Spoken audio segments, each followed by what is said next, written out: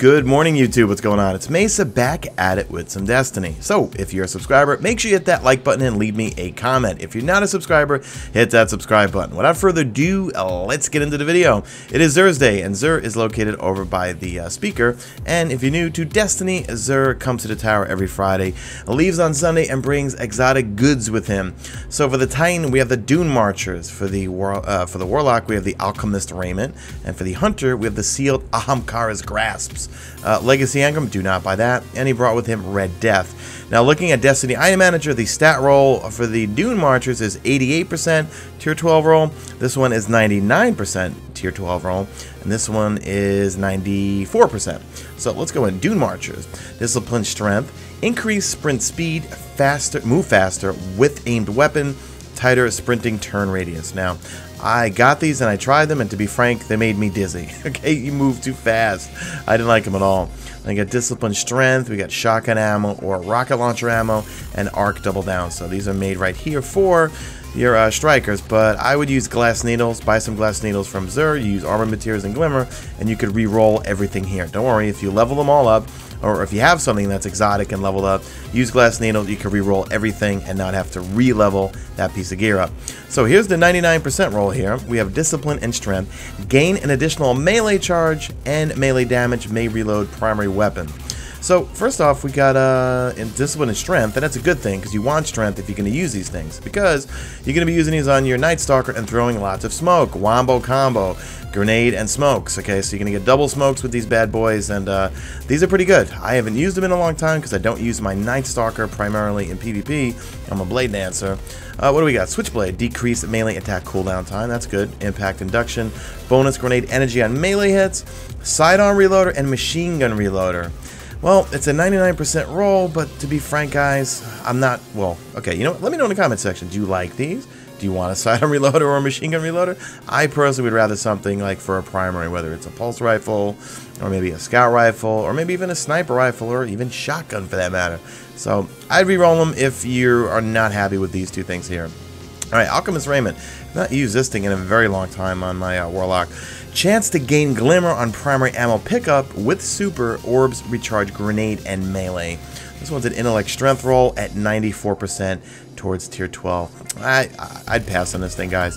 Increase Intellect and Strength. What do we got? Special Ammo or Heavy Ammo. That's one of the good things about this thing is that you don't have to have a specific type of... Uh, um, ammo. It doesn't have to be sniper, doesn't have to be shotgun, doesn't have to be scout, pulse, whatever could just pick and choose what you want. Arc Burn Defense and Arc Armor. So this one's ready to go for your uh, Stormcaller, but uh, it's a 94% roll. Well, first off, I would say pass on this. Uh, and, and if you do buy it, I'd say re-roll it with glass needles. Alright, Beloved Red Death, my favorite pulse rifle. Well, actually, one of my favorite guns in the game, next to Hawkmoon, just because of the way it looks, the way it sounds, the sights on it, the ornaments that we're getting soon. Um, but right now, I just feel like it's not good in the current meta, even with high caliber rounds. You know, I'm strictly a scrub clever dragon high caliber round user, and um, I actually was was loving high caliber rounds so much that I pulled out my Red Death out of the vault and started using it. I'm just, I'm not good, man. This is like uh, the Nirwen's Mercy rate of fire and impact. In fact, I got my Clever Dragon on me right now. Yeah, so Clever Dragon, much lower impact, much faster firing, but Red Death uh, has way less stability, a bit more impact, a bit more range, but basically you got to get your shots on with this thing. That's all I'm going to say. If you if you have good aim, you'll probably do well with this thing. Accurized ballistics, field choke, and aggressive ballistics, uh, unflinching. I mean, this thing has it all. Unflinching, high caliber rounds, Red Death, each kill heals you and speeds up reload.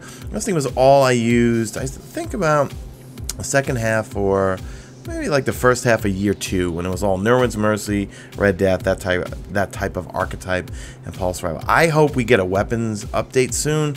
No word from Bungie just yet. Uh, who knows when the dawning arrives next Tuesday if we will have one.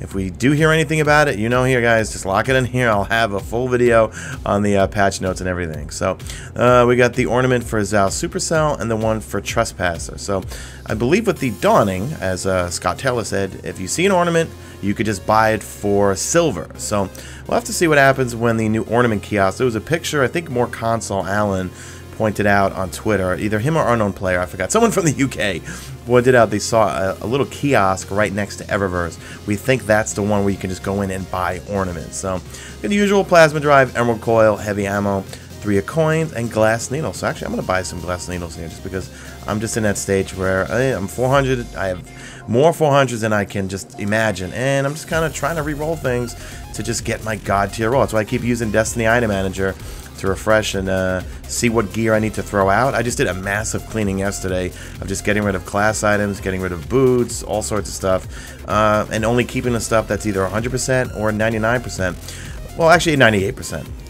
to be exact.